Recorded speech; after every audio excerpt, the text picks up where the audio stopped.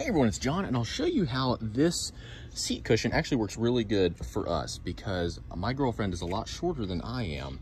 And so whenever we are switching out vehicles, because we both drive this vehicle, before we would always have to adjust the seat and bring it up for her with this handle down here and it just got to be a little bit of a pain. This, it does squish down, it is very comfortable, but it still ends up giving you about an inch of height and she's able to see over the dash much better. So hopefully that answers some questions as to about how much height this thing will give you. Thanks so much for watching and enjoy the rest of your day.